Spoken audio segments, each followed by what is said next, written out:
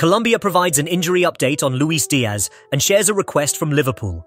Colombia manager Nestor Lorenzo has reassured everyone regarding any concerns about Liverpool forward Luis Diaz's injury status.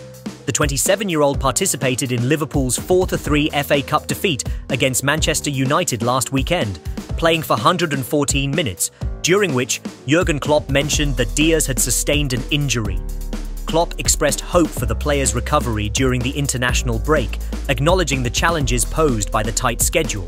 Darwin Núñez withdrew from the Uruguay squad as a precaution due to injury concerns, although Liverpool anticipated his return for their Premier League match against Brighton and Hove Albion. Despite these setbacks, both Diaz and Gakpo are still expected to be called up by Colombia and the Netherlands, respectively. Colombia is set to play Spain at West Ham United's London Stadium on Friday night, and Romania at the Metropolitano Stadium in Madrid on Tuesday. Ahead of the match against Spain, Lorenzo confirmed Diaz's fitness for the game and hinted at Liverpool's request to manage the forward's playing time carefully. Luis is in good condition. We've monitored his workload due to his extended playing time, Lorenzo stated. Liverpool has asked us to look after him. We will adhere to that, but he will also monitor himself to ensure his fitness.